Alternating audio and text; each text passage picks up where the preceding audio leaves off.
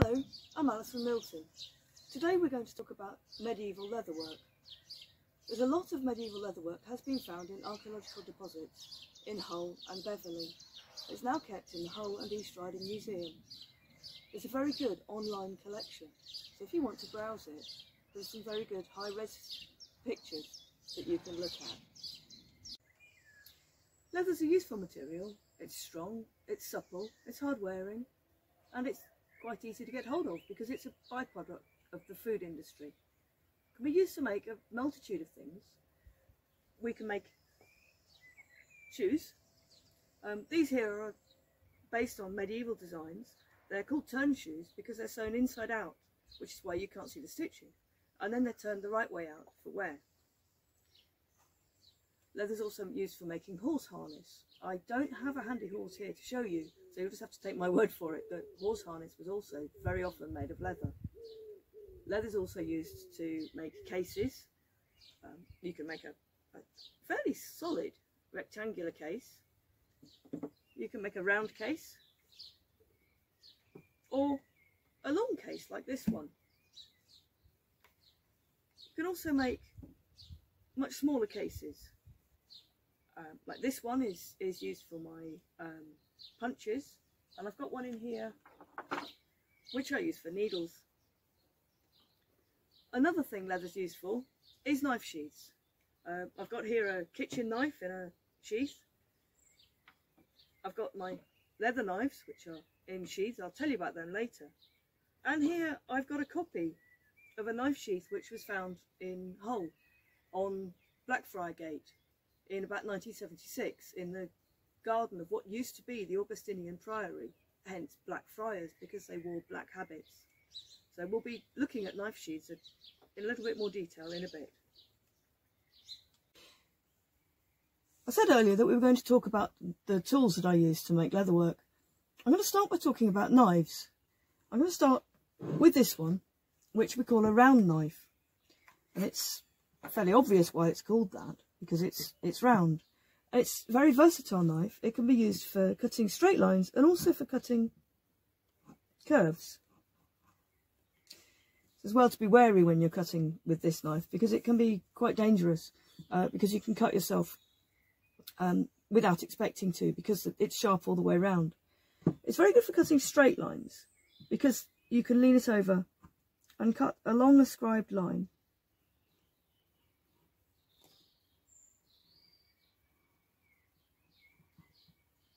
like that. So that's one type of uh, leather knife. It's a very similar knife. It's called a head knife. You see these in medieval illustrations. Quite often they're stuck down into the board in front of the worker. I don't like to do that. It damages the awl. Um, I keep mine in a purpose-made sheath. So, similar blade, uh, sharp, again, sharp all the way around. Be careful how you use it. You always, always, always keep your hand behind the blade when you're cutting. So you don't put your hand here, you never put your hand there. If I want to cut here, I have my hand behind it. And I cut. It's also got what's called an awl, which is a sharp point for making holes. So I can make holes into the leather. This one is going from the surface you see out through the edge of the leather. Or I could go down through the leather. There's two reasons. The next tool I want to talk to you about is what's called an awl. Now we saw an awl on the head knife, the sharp pointy bit at the end. This here is a separate awl. It's more convenient because there's no danger of cutting yourself with the sharp blade flirting around while you're trying to use the awl. And again, I can make holes um, in the leather either obliquely like we did before to go um, from the face to the edge or straight through. I could do that through two layers and then I could sew them together. We're going to talk about the sheath found in Hull on Blackfriar Gate in the Augustinian Priory Garden. I don't know whether you can see it. It's got a design of a, a strange creature that's got the head of a man but with the beak of a bird and a kind of strange winged body. It's known as the Birdman sheath. I thought it'd be nice to make a knife sheath. So I've got here one that we cut out earlier. I'm just going to dampen it slightly, just with a damp cloth, just to make it easier to work with and so that it will take a pattern when we come to decorate it. Now, when it's finished, the, the seam at the back will be offset. So the pattern needs to be offset on the um, on the sheath when we decorate it. So I've got here uh, what's called a crease, which is a tool for making lines, and a straight edge. And we're just going to mark out where we're going to put the pattern. It forms part of the pattern. And then this line has to follow the curve of the sheath and then go all the way to the top. So now I know I'm going to put my pattern in this area here. I'm going to have some more lines which follow the edge of the knife.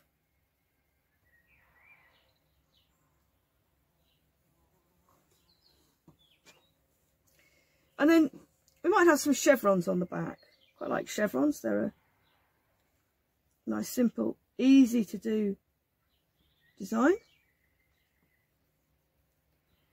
Quite often the, the decoration on medieval knife sheaths is quite crude. Um, but often they seem to have been decorated by the owner rather than by a professional. Sometimes it's not crude at all. Sometimes it's very, very beautiful, like the Birdman sheath. But other times you think they probably bought a plain sheath and they may have decorated it themselves. So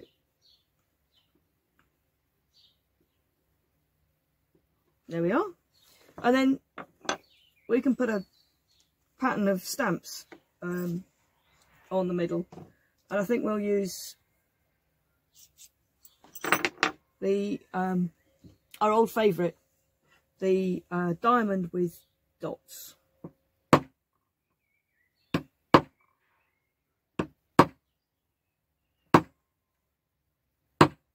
We're doing an all over pattern, but with a gap between them.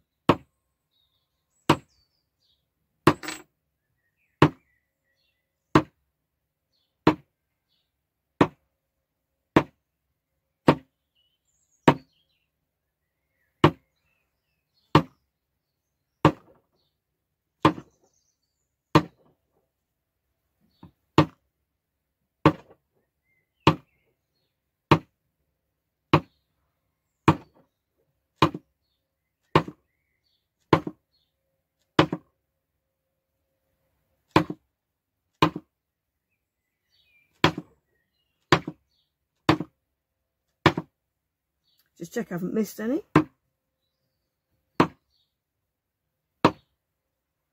And there we go. Now the next thing to do is we need the holes up the edge. So for that I'll need my awl and I'll need to mark out the spaces for the holes. So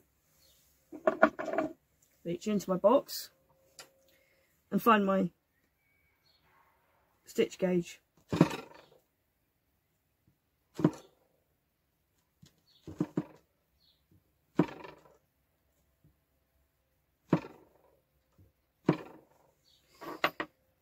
And then I'll mark all these out and I'll mark all these and make the holes all the way around the edge. The holes, again, they go from the surface of the leather out through the edge like this.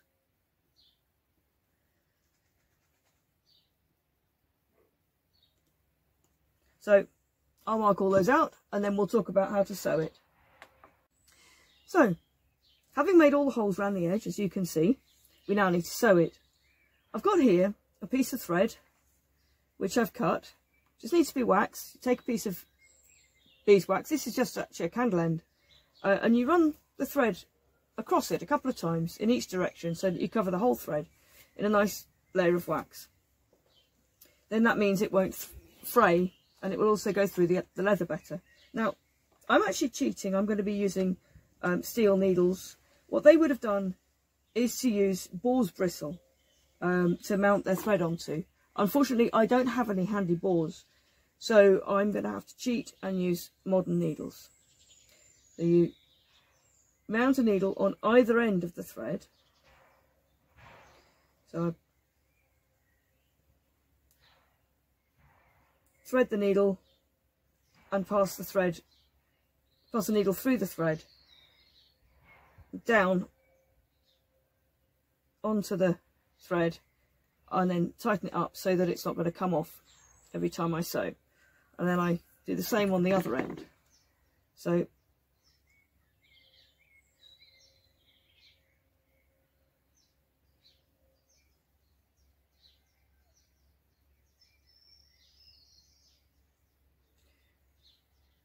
There we are. So I thread it and I pass the needle through the thread and then down the needle and onto the thing. So it's, it's looped on, as you can see. So that means that I can start sewing the sheath.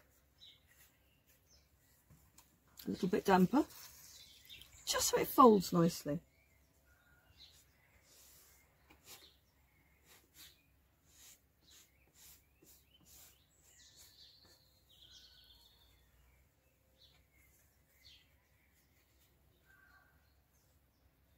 And then as you see the needle goes through from the grain of the leather out through the edge.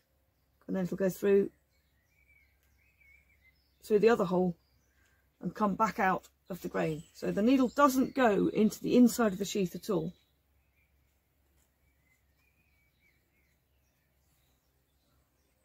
I just need to level them up without tearing the leather. It's quite fragile at this stage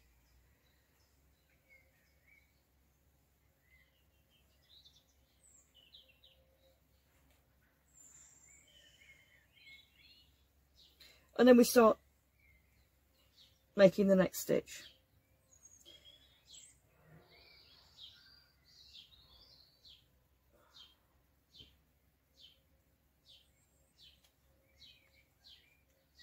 Once you've got the first the first couple of stitches done, um, the the work holds together better, and it's easier to do. It's always it's like everything.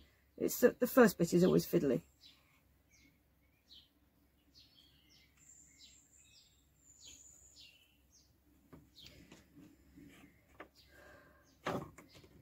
So then I can pull this tight. And as you can see, it goes together butt to butt, butted up nicely. And the threads are not quite level. I can sort that out. Or maybe not.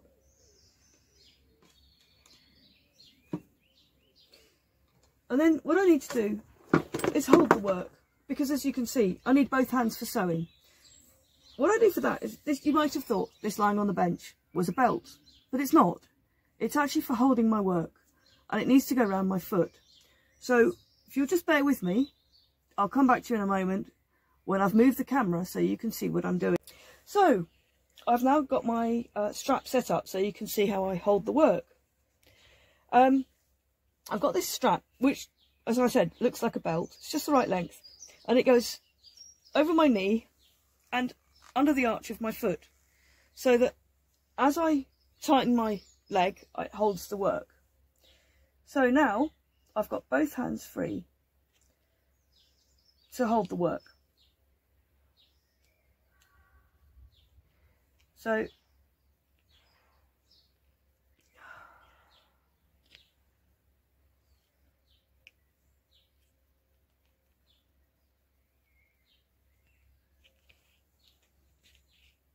This stitch is very strong because it uses both ends of the same piece of thread. So even if one bit frays, the other thread, the other half of the thread, will still keep the work together.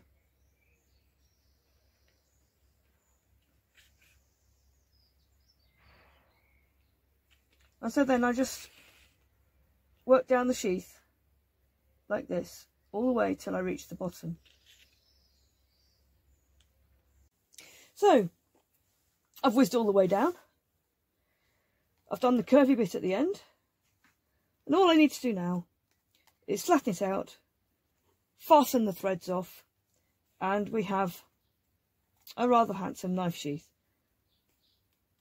So there you go. That's how to make a knife sheath.